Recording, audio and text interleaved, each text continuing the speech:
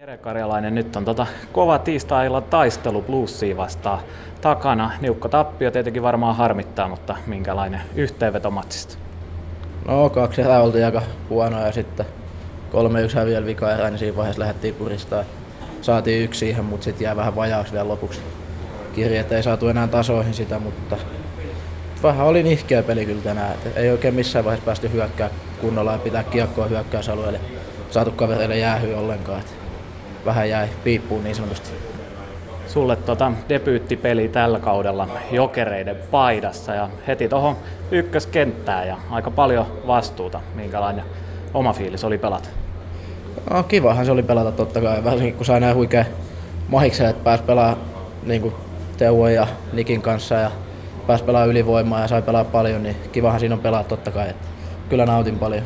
Miten te olitte suunnitellut tuota työjakoa siinä Niklas Hardin ja Teuvo Teräväisen kanssa?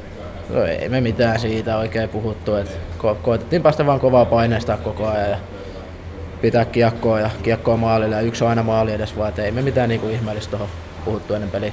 Tuliko valmennukselta mitään tiettyjä ohjeita nyt tähän tämän kauden ekaan matsiin? No ei, sanottiin vaan, että joka kerta kun saat kiekkoa, ei mitään muuta. No kuitenkin sitten henkilökohtaisesti, vaikka nyt tappio tänään tuli, niin varmaan hieman mieltä piristää se, että nyt on sitten liikamaalitilikin avattu.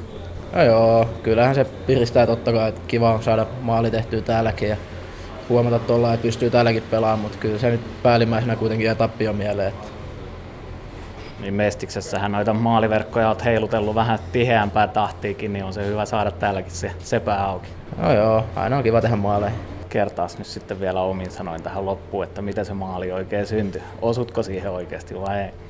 En mä huuda ainakaan maaleja.